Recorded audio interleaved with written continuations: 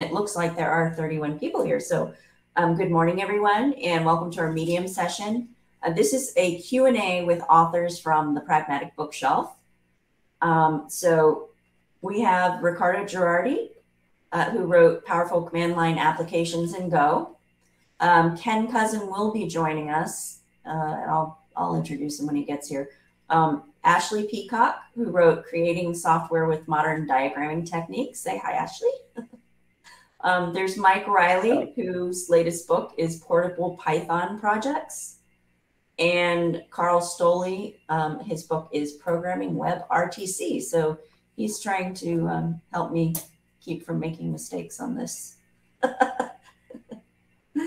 so um, anything that you want to ask, you can type it in to the Q&A on the right-hand side, and I will if you don't specify who you want to talk with, then um, I will go ahead and assign that question to one of our authors. I need to announce the Q&A again. There we go.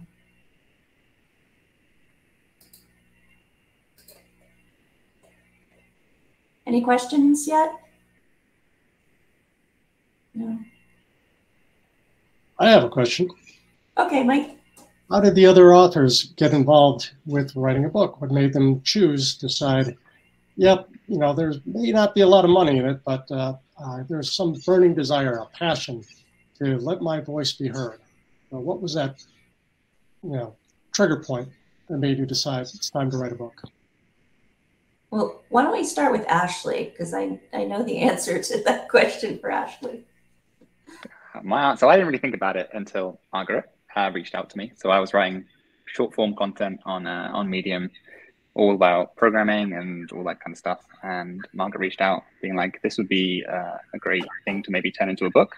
And the article obviously was about um, diagrams.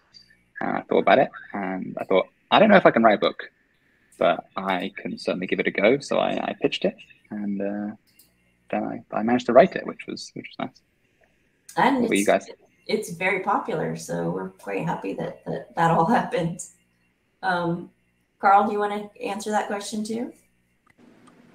Yeah, I, I think it's always about you know responding to some kind of actual need like it's nice to have like these romantic ideas like my voice needs to be heard but really it's about trying to solve a problem because a, a, book is a whole lot of commitment and it's very difficult to bring one over the finish line um, so it needs to be filling a real need for people i think um, and it's you know it takes a while not just to to craft what the topic is um, in some ways that's the easy part but then you're figuring out like how like you know what level of audience you're presenting it for what press is going to be the best place to situate a particular book you know in just in terms of like you know what other kinds of books are published there and all of that. So it, it's you know that constellation of considerations. And then sometimes like the very first book i wrote was sort of like you reached out to ashley. It was the same thing. I had an editor from a press approach me about some other stuff that i'd worked on.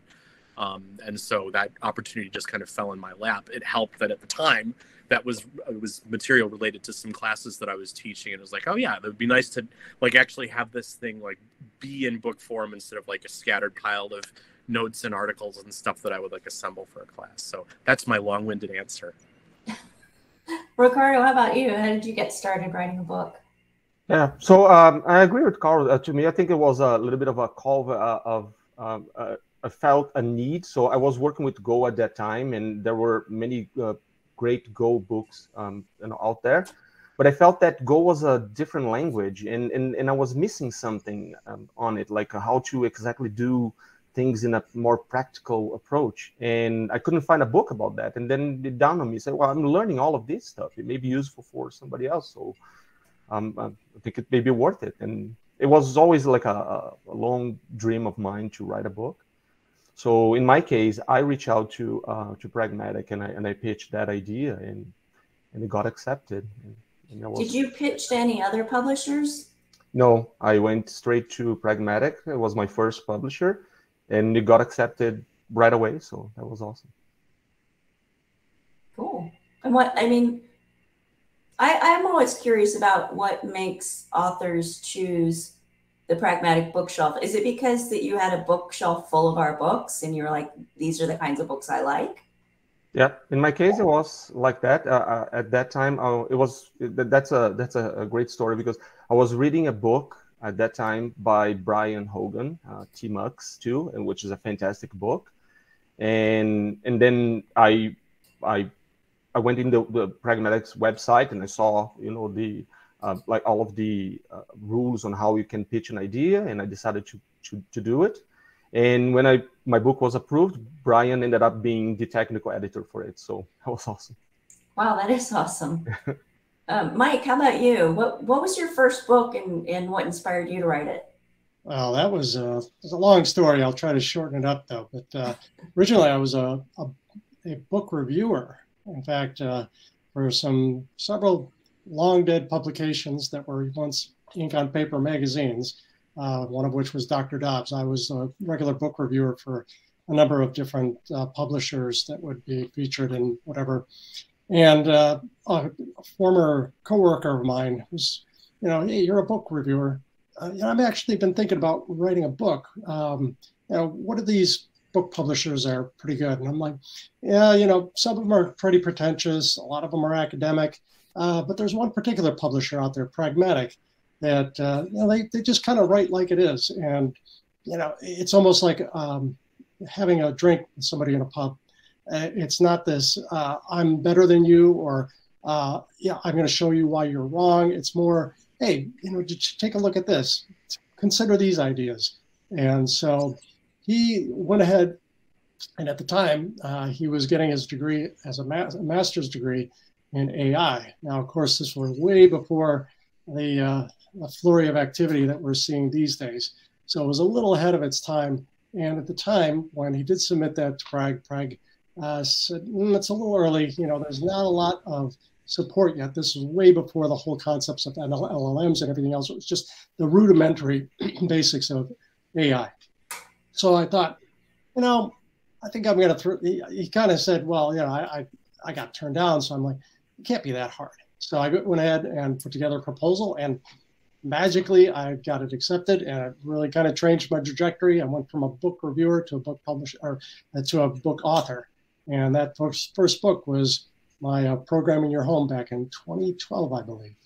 Programming Your Home. So it was home automation kind of stuff even back then. Yeah, way back cool. in the days of Arduino and processing, which was the language, C-like language that you'd use to program the Arduino. So uh, yeah, that's over 10 years ago.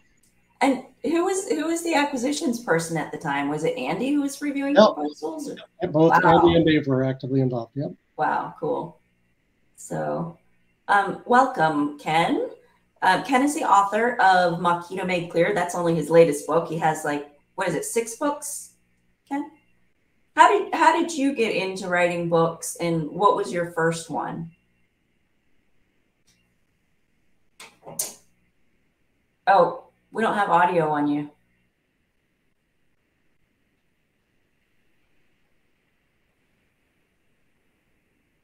It's okay. We, we'll come back to you. How about that? Is that is that? Oh working? no, we can hear you now. Okay. Thank you. Yeah. Okay. Man, this has been one setting after another this morning. Uh, the the first book I, I wrote was uh, called uh, uh "Making Java Groovy," and it was about integrating Groovy programming with Java programming, an API. And in fact, I'd wanted to be an author for many years, and I'd done a bunch of tech editing for a couple of um, different books earlier than that. And when a lead author on a similar book to that was taking way too long, the editor of that book asked me if I wanted to co-author it with him, to try to get him moving. And I, I I said yes, and I jumped on that. And then if you skip forward a year, I had written like 120 pages or something, and he'd written like five. Oh. he turned the book over to me. Uh, so then I wound up lead author on that, and then the book got canceled. Oh no! Publishing companies, yeah. So I had to take the, what I had and offer it somewhere else. And they, I offered it to the Prags, by the way, and they said no at the time. Interestingly enough, uh, but Manning took it. And then, of course, Manning is very strict about their structure, even though they don't say they are. And I had to wind up writing the whole thing, but that's how the whole journey wound up starting. So you've published with O'Reilly, Manning, and the Pragmatic Bookshelf. Is that? That's right. I, I did one book for Manning, and then I did three for O'Reilly, and then I did the last two for uh, for the Prags. And uh, Mike, you you've always just published with Pragmatic Bookshelf, right? You didn't. Uh, that's correct. All four okay. books, and well, um, maybe something else coming in the in the future. Okay. Um, so I'm wondering, Ken, since you have published with three different publishers, like what's your perspective of like what authors should be considering when they're looking at publishers? What are the factors that they should look into? Oh, well, they should just go with the Prags. That's easy. No. You're only um, saying that because I'm your editor. Actually, for me, at any rate, a lot of it comes down to the editor. So, and you don't know that until you until you propose. Mm-hmm. So, when you're trying to figure out which company to propose, then you look and see if they have any books that are in the same area that you like to write in, whether they tend to uh, help public uh, publicize the books once they're written, whether they offer a lot of support for the authors. I mean, they all say they do, but you can see by their actions how they actually behave, and you can uh, get in touch with authors online who have already published books for those publishers, because generally authors. Even though we have a reputation for being introverted, are generally more than happy to talk to you about the whole process. That's that's a very good point. I hadn't thought that like if if you're not sure who to go with, just reach out to an author whose book you like and ask yeah. them.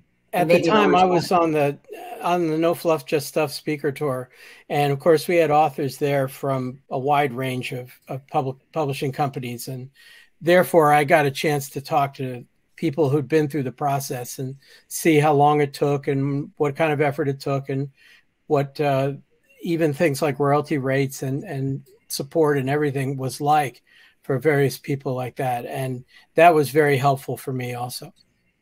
Cool we have we actually have a question um, from one of our attendees and that question is what is your perspective on open source hardware asking this general question because it doesn't have uh, a more specific question anybody here involved with open source and have an answer to that?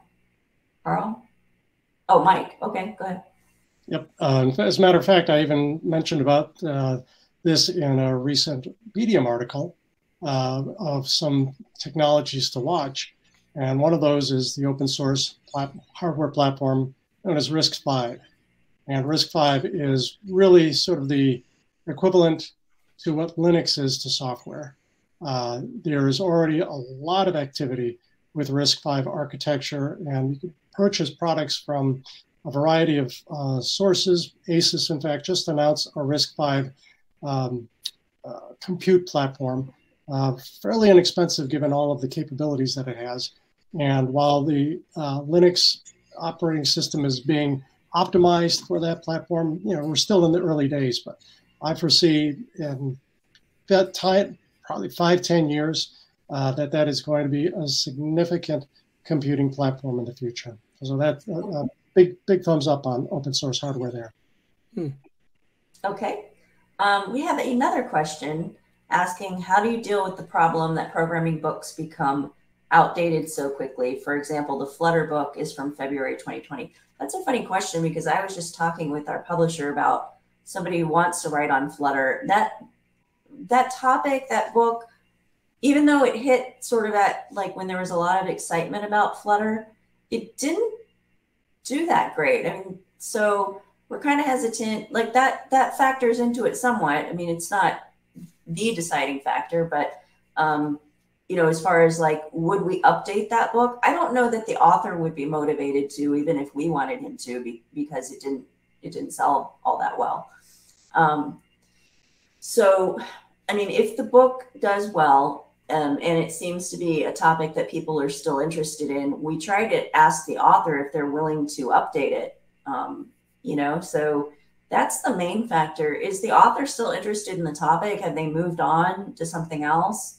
Because I mean, contractually, they're not like obligated to update the book. They can just say like, here, here's my book, and then that's it. Walk away. We sometimes do, um, like Ken did for for Manning. Um, we sometimes do get other authors to come in if the author doesn't want to and we think it's important. I think we've only done that a handful of times, like with the um, the pickaxe book, the, the Ruby book. That's yeah, Noel Rappin took that one over um, recently. So um, anybody else? Oh, Ken, go ahead. Um, just as a comment, I, have been in that situation where you're writing a book and the technology changes really, really fast. When I was working, I have a book on uh, basically Android and Gradle, and both Android and Gradle were evolving very quickly at the time, and so was the IDE, the Android Studio environment, all of which were changing at different paces. And it was tough, I got to say. I mean, keeping up with the changes because all your figures changed because the IDE changed and the, the code mechanisms changed. It was just really hard to do on that. Uh, and then, of course, if the book doesn't sell well, then they don't want to update it, even though the, the field has moved on. So it's, and by the way, I got approached by another company asking if I wanted to write on um, integrating Java with uh, AI tools. And can you imagine a book that would be more out of date more quickly than that? I mean, holy mackerel, you, would write a chapter and it would already be out of date by the time you wrote it, you know? So it's just, it's just a real challenge. You just have to structure the, the overall frame so that you are focusing on the parts that change the, the least you know, and sticking with principles and things like that, but be prepared to have to run through all the figures again or update the code. This is also why, of course, you set up a GitHub repository uh, that it works for the book as it stands, but that you can continually update for the latest version of whatever the software is that you're working with. I mean, all my GitHub repositories, I keep up to date with the current versions, even if that places them out of sync with the book itself. Right. Yeah, I know we're having that. We've been having that problem with the um, programming Phoenix Live View book because that's a moving target. And so, you know, I mean, the authors are doing everything they can to keep up with it, but it's just changing every day, you know? Yeah. So. Yeah, the, the programming WebRTC book that I'm writing, like the WebRTC oh, spec, like was finalized, like literally the day that I submitted my proposal. Um, and but it, it even within the last two months, I think, that changed the title of the spec. Like no new version or anything like that, but that changed, and so that's a quick fix. But yeah, totally agreed with what Ken's saying about you know sticking to principles and you know watch the technology you want to write about and, and, wait until there's some stability. Like I would not have attempted to try to write this book on WebRTC even two years ago yeah. because there was so much of the spec that was unfinished, and you're just asking for trouble at that point. So when you can get some stability into it, and when you can think of sort of like the broader things, like you know, maybe Flutter or something like that, that seems like you want to write about. But maybe it's a more generic sort of like how to architect iOS apps or something like that. So sometimes going up a level of abstraction is another way to sort of tackle that particular thing. With the Mockito book that I that came out in in February, I tried to make contact with some of the core team members and find out when is because they were planning a major version number release and i was convinced that they were waiting for my book to come out so they could release it the day after that you know. But i'd managed to find out from a core team member what the changes were going to be, even if they weren't necessarily locked down. And that way I could say in the introduction, look, it works on all these versions. And if things evolve the way we're expecting, it'll be on that one as well. But it's it's a risk. I mean, what do you yeah, with that with WebRTC, I don't know how you kept up with that. one little thing, just I wanted to follow up uh, to uh, some points from Mike and from Ken from a bit ago, which was about, and and Ken, you just mentioned this again about how important it is to have a network of people when you want to write a book. Like the way that I got involved with Prag goes back like a dozen years or more. Uh, I had read my very first title was um, Travis Swicegood's Pragmatic Version Control using Git, and I just I wrote him for like some dumb reason that I don't even remember what it was, but like he and I started a conversation. He had another book that he was interested in, and then he, I just started learning more about Prag with the with the beta release program. Because here's the thing that's the hardest for people who've never written a book before. Usually, when you see a book, you see the finished thing. It's been copy edited, it's been proofread, it's been published. It's this perfect holy thing that seems like it came down from like another planet or something. And real writing most of the time your book is like a smoldering mess. There's parts of it that are broken. There's parts of it that are unfinished. And so the more that you can build a network with other writers uh, and see that the more helpful it'll be for you. And that's one of the things that's that's how i my first relationships beyond being a reader for Prag because i became a voracious reader but was participating in beta reviews. And then ultimately i was invited to start reviewing books for Prag and i probably reviewed I don't know, maybe five or six books over the period of, of as many years before I even thought I was good enough to write for Prag. Like I even for the WebRTC book, I didn't I didn't pitch to Prag right away because I thought I wasn't good enough. Like so like it was only until this other publisher that in hindsight I'm glad they didn't take the book. But um it, it really is those networking connections and if you can have some experiences around book publishing that are more than like oh my god i've got to write this 400 page manuscript or something be a reviewer beta reviewers like uh, for Prag, if it was something Manning does a similar kind of thing, but like in the last three weeks, I've had two separate beta reviewers, one of whom discovered a bug in Chrome, but it was breaking all of my examples from the book. It wasn't my fault, and there was nothing I could do, but I was able to like, you know, open up some tickets and stuff like that, figure out what's what was going on and another person who had basically just caught a little edge case in my logic. And you know, the book would have gone right to press with either of those things, like not been a problem, not been it wouldn't have been discovered. But thank goodness for those reviewers, and now I get to actually mention them by name in the acknowledgments and say, hey, thanks to this person and this person. Um, so don't discount the power of a network, and don't discount um, reviewing and just being a really good reader and reaching out to authors as a good first step for writing a book. For sure. Um, so, Ashley, we haven't heard from you um, since the beginning. So, I'm going to ask you a question. What surprised you the most about writing a book, like the process of writing a book? I I think it's probably the amount you go back and edit it.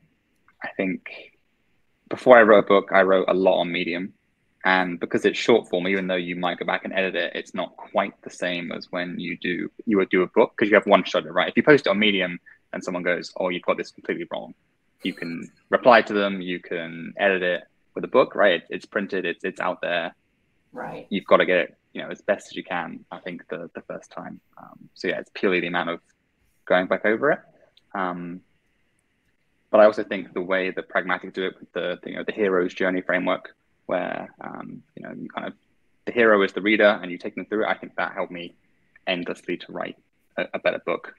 Um, I think that framework's really really good. That's good to know because I get mixed feedback about that because I think Ken is nodding his head. He'll tell you it feels it feels somewhat artificial because it's it's a nonfiction book. It's not a fiction book. And if you're calling it a journey, you're probably starting like somewhere in the middle of the journey when the when the person has already accepted the challenge and the challenge is to learn whatever technology it is that you're trying to teach them. So there's like some pieces missing from it but i think the main idea of it is just that you want the reader to be the central focus of the book and and remember that like the reader is there to learn something from you and that they're just as smart as you. They just don't know that topic yet. So Ken, do you want to jump in and say what you think about um, it? It's a long, complicated story. I'll just say that it's one reasonable architecture, if you will. It's one reasonable path. There are others as well. And that uh, the more I learned about, um, I'm blanking on his name, the guy who came up with that whole monomyth. Oh, yeah, yeah, Joseph Campbell. Yeah. Uh, the less I'm happy about it. It's one of those you, you don't want to dig it. I mean, he's incredibly sexist and incredibly yeah. biased toward privileged white males and everything. It's just you know really skewed. But it, if it works for you as a path to help the reader along, then by all means go for it. Uh, there's it's not a problem. It's just that acknowledging that there are other paths as well that are reasonable approaches to writing anything. You Uh, yeah. But I yeah, if it does work for you, then great. Yep. Um, anybody in the audience want to ask a question? We've we've only had, I think, three or four questions so far. Looks like there is a new question about ethics. Oh, okay, good. Ah. It's not showing up for me. Yeah. It says, uh, here, I'll read it to you if you like. It says, I write a blog on the ethics of writing. It's uh, Gary Stewart. Uh, do writers on Medium care about ethics? do we take care to abide by ethical imperatives in what we write? Um, anyone want to tackle that? I mean, I love ethics. I, you know, in in in my career in higher ed, I was always close to like the ethics center and things like that. Um, I think that's a big part of what draws me to to you know the tech presses that I love is is that you know.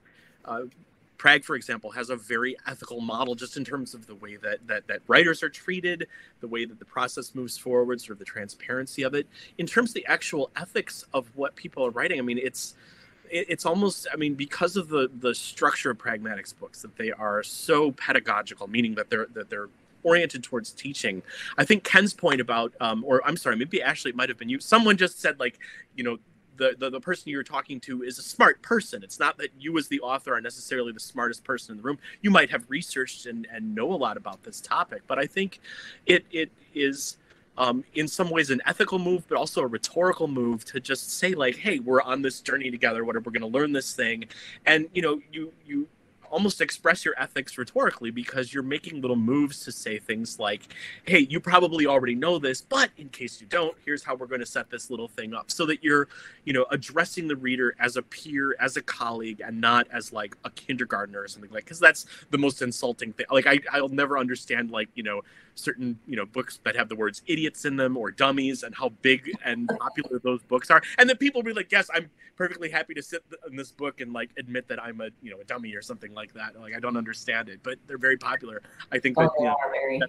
sorry anyway i yak too much but that's Yeah, I, I worked for Wiley when they um, when they acquired IDG, which is the the dummies publisher, and it was like a big deal because those books sell amazingly. They sell like crazy, but it's for a different audience. You know, I mean, the pragmatic programmers are for professional developers, so most of our books are not at that beginner level. They're they're sort of like at the intermediate level, and assume you know, you know, you've you've at least done some programming. When you would you say that's right, Mike? Yeah, absolutely. Um, you know, because we even struggle with that when we try to gauge our target markets for that specific audience. Um, you know, is this a beginner's Java programmer's book or is it intermediate?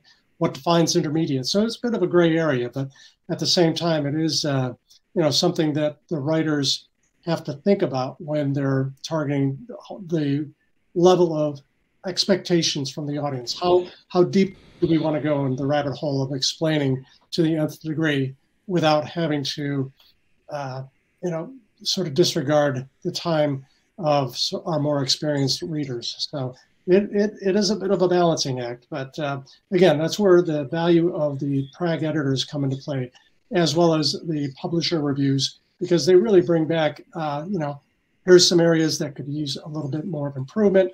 Uh, this needs a little further explanation, or you know, this is a lot of extra unnecessary detail. So uh, when Ken mentioned about, or I think it was, it was Karl who mentioned, you know, getting this magic book in your hands, Now that is a product of a lot of work with a lot of people who have invested a significant amount of time to really polish that stone. For sure. Um, so yeah, I don't know. I don't know the answer to do writers on Medium care about ethics? Um, the Pragmatic Bookshelf certainly does. Uh, we we have an ethics panel that you know if, if we're we have any question about something that we want to do or something that you know we are doing, um, we refer it to our ethics panel. So. Um, one, one thing I would add specifically on Medium is if you read some of the bigger publications, at least, they will have statements on their ethics and their guidelines. Like I'm going to pick better programmers because I, pro- I publish a lot in better programmers. And they, for example, reserve a certain amount of articles for more diverse backgrounds, for example. So that's like a really nice thing for them them to have. Um, and I think there are other ones around. So that's at least one thing I noticed on Medium. Yeah, I mean it, it's it's funny to me because it it feels like even though Medium says that you know their goal is to produce quality content, there are all these I guess just human nature things in place that incentivize sort of clickbaity kinds of articles. Um, and then of course there's the whole question of like you know are people really are there are they really writing these articles themselves or are they starting to you know crank out articles using AI? Um, but I think there are whole other sessions on Medium about that specific topic. So this one, we're hoping to get questions from you about, you know, writing books um, on technology related topics. And specifically for the pragmatic bookshelf, if you have questions about that, or just in general about like what it's like to write a book, a technical book. So let's see. Are there any more questions coming in? I write in the Dummies series and I enjoy doing it. I try to make the books rich and interesting. Thank you for that, Barry. Um, yeah, I mean, I never worked on the Dummies series, but I was at Wiley during the time when they acquired it, and I went and met all of the Dummies editors, um, and they seemed like you know really smart people, and we're just it's just a different audience. That's all. Um, okay, so let me approve this question. Um, let's see. All questions. Sorry. How do you know that you have enough material to write a book? Um, well, I mean, we have a series that's only 50 pages long and, and you know, 300 words a, page. It's, it's not much. So, I mean, just if, if you're like, can I write a book? yeah, you probably can. You can, you know, start out small um, and do something like the Pragmatic Answers series. Um, and it's we generally like 300 words a page. So I'd say just start writing and write about something that interests you and, and see like, are you, are you getting up to that point where you have at least like 50 pages worth of material? Um, and sometimes anybody else topic, want to answer that? Yeah, sometimes the topic helps you with that because if you're going to write about a particular API, you need to cover the API. If you're going to write about a particular technology area, you need to cover all the major alternatives. So it, it it's basically more of a feeling of you you it's too long for an article or even a couple articles, but uh, it's curated. I mean, you you you put together the overall outline of what you want to talk about and then run it by people. I mean, the Prags will do that for you. They'll run it by a bunch of uh, technology people and say, so, you know, what do you think? And then you'll get a lot of feedback on that. So all you need to know is to get started is to say you have something you really want to say that isn't being said, and just start with that. And these things, I mean, the I, I used to estimate that it took everything I wrote took twice as long to write and three times as many pages as I anticipated at the beginning. So these things grow naturally. Your your problem will not be do I have enough? The problem will be how do I cut this down to something manageable?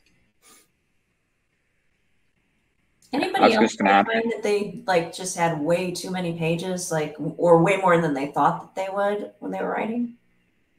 Yeah, so my book that I my book was an express book, so it was limited to 150 pages, and we were like bumping up against the limit. And my editor was like, "You you can't write anymore, so you need to start like trimming it down and like, you know, deciding what to cut." So yeah, I think it, I think you can. Who, who was your editor? Once you start pulling, uh, Mike Mike Swaine.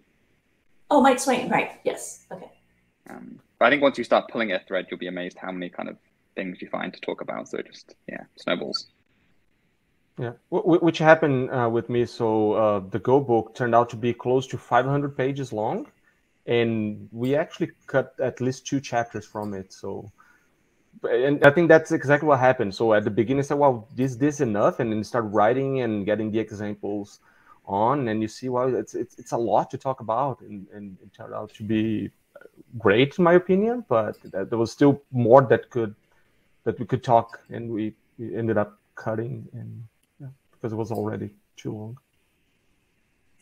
We have now have another question. To what extent do you modify your table of contents as you go along? Editors seem to want a fixed TOC, but for me, the TOC is only a rough idea. I know, like, I have met authors that are just like that. Like, the, the TOC to them is just a suggestion of what they want to write, and other people have it just planned out from the beginning because they see it as like a natural learning path, and certain topics make sense in that order to teach. So I think it just depends on how you approach writing. What do you, um, Karl? What do you think about that question?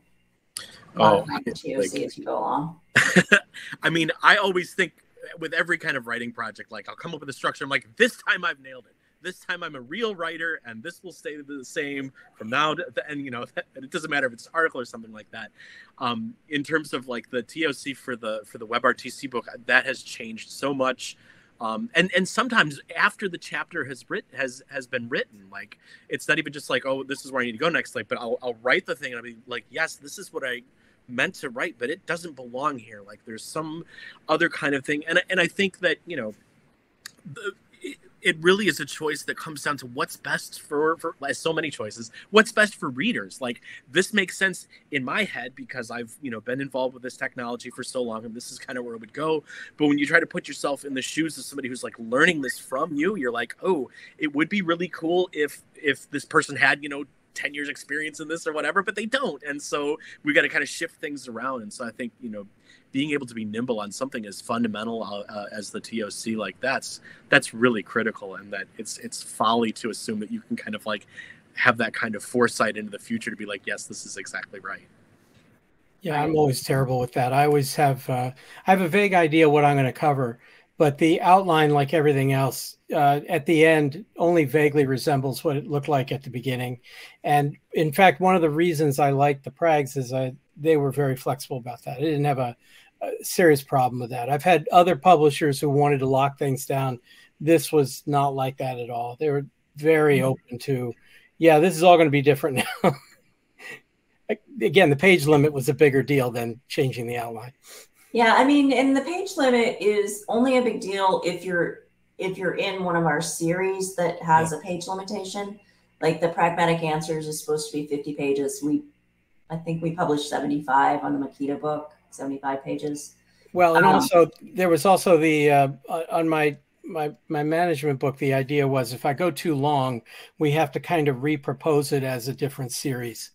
You know, just because it was expected to be shorter and now it's going to be longer, it has to be in a different category. That's all. I don't think it would have been a problem, but it would have changed everything. And it was like, yeah, okay, yeah. And I think from the publisher's perspective, one of the issues is that like once you get up sort of in the 500 plus page range, yeah, that's crazy. We really have to charge more for that book, especially you know the printed book, because um, it's it's costly to print a, a large book like that. Um, so there's I think more price resistance these days um, from customers buying books than there used to be. I mean, you know, I remember the days when computer books were like a thousand pages long, and that's what everybody expected.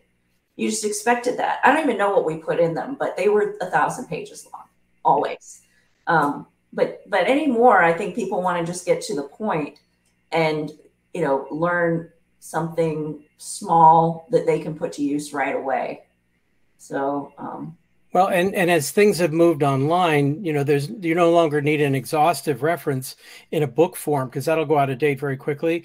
I usually think of technical books now as more curation than anything else. It's like this is what I think is worth it. This is what's worth your time. This is what's worth your in, your effort to invest in learning. And then if you need the details, you can get that, you know, in the latest version online. Right. Well, I just noticed that we are actually 10 minutes over our yeah. allotted time. I don't know how that happened. Think that they would give us a warning, but they didn't. Um, let me go look and see if there are any other out. There are no more questions to review. So um, let's just go around, starting with Mike, and just if you have just a closing thought for people who are thinking about writing a book, and we'll end it there.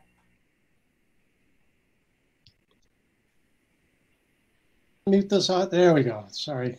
Uh, So yeah, basically it's the uh, same thing that others have iterated, and it's basically anybody who is passionate about a topic and has relatively decent writing skills can be a book author.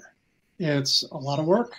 It's dedicated time, commitment, but uh, as everybody on this panel can attest, you know, they were not authors before, uh, but they became one.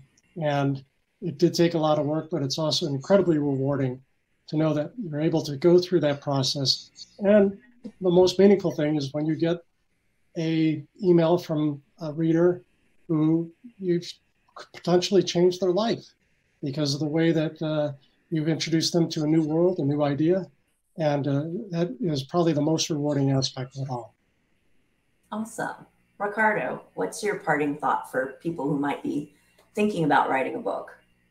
Yeah, I, I definitely agree with um, Mike just said, and uh, um, it, it is a lot of work. So it's be, be prepared. You have to dedicate the time and commit. It's, there's a lot of back and forth with the editing, uh, but it, it's definitely worthwhile. Again, I, I had this long time dream of, of, of doing this, and and really uh, receiving some of the comments from uh, from from people out there. And I, I actually had one this week on, on Twitter. Some somebody saying, "Hey, you really you changed my life. This was this was great. Thank you for writing this book."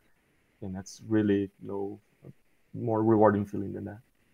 Awesome, Ashley. What are your parting thoughts? I would say I think for me, Medium was a really good way of setting me up to write a book. So I think if you can write a few articles on the topic that you want to write a book around, you'll you'll get some feedback from like readers, comments. You know, you can see how popular they are, all that kind of stuff. Um, and it's a really good way of like dipping your toe in, I guess. Um, and then if you want to submit proposal to Pragmatic, you need to send in a sample chapter. So that's also another really good way of seeing if you can actually write content about the book because you have to write an actual an actual chapter. So. Yeah, we we try we've tried to loosen that up a little bit so that like if you've written a few blog posts about that topic that your book is related to, um, and especially if you've if you're already an author, we we kind of like let that sample slide now. I know it used to be a, a stricter thing, but um, Karl, what are your parting thoughts? My parting thoughts. This is especially for technical people, whether you're a software developer, or engineer, or whatever, um, is to work on your writing as seriously as you do your software craft. Um, the best people to write about a topic, you might think it would be the person who knows the most about topic X. That's not usually the case. Um, most of us have a lot going on, and and and it be you know it's it's an impossible thing to ask yourself to become like the world expert in whatever. The question is, can you learn what needs to be learned, draw from your experience that you have, but then also take that extra step that sometimes the best experts don't have, and that is to communicate things in a way that's engaging really well. So treat your writing seriously. Use every opportunity, whether that's a commit message that you're writing, an email at work, or even just a Slack message. There's always a chance to to to improve your writing, to be a more clear writer. For me, my handicap that I've had to overcome is that I was an academic writer, so I could write you a sentence that's you know 20 lines long or something like that. And every punctuation mark known to man is in there. And for me, it's like, how do I just say subject, verb, object? Just do, do, do. this is the thing. And, and none of these like crazy inductive sentences. So, so treat your writing seriously and always look for opportunities to improve it. Awesome. I know why, I know why Ken had a little giggle there at the end because um, I'm his editor, but what, what are your parting thoughts, Ken? Oh, well, just to try to pick a couple things that have not been mentioned, because I agree with the ones that have. Uh, first of all, it always looks overwhelming when you start because you're at the base of a mountain. But uh, actually, a better analogy is it feels like you're emptying the ocean with a spoon.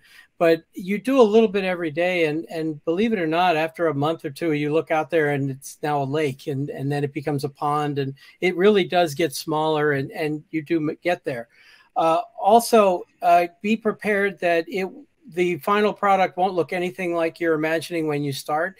It everything changes, even if it's a presentation. I mean, I gave a presentation for years, the same presentation over and over again. Then I went to write it in book form, and it all evolved. Just because the very act of writing it down helps you think it through and changes it uh, enormously. Um, and then the job of the editor is to, you know, part of the job of the editor is to give you feedback. And if you don't know what else to do, I mean, it's going to sound silly. Um, I find that if I have a gag to tell, if I've got some joke to tell, then I'll probably write pages and pages just to tell that joke. And then the editor could go, yeah, that wasn't funny. And we could take that out, but I still have all those pages left, you know? so it, then we can use them for medium articles. Exactly. Very good. So, any rate, all of those things, and and it's also having a book is your membership card. It's it's you walk into a company as a consultant and you see your book on somebody's shelf, your rate just went up. You know, it's like, uh, not to mention, you know, you get the community of authors and and people who are just well, very friendly, welcoming group, is at least in my experience. Yeah, I mean, I I found that I've been working in publishing a long time, and all of the authors I I've worked with, I still remember like my very first author that I worked with, Gary DeWard Brown. He wrote on job control language. Um, oh, wow. So yeah, you you you meet a lot of great people when you publish a book. I think.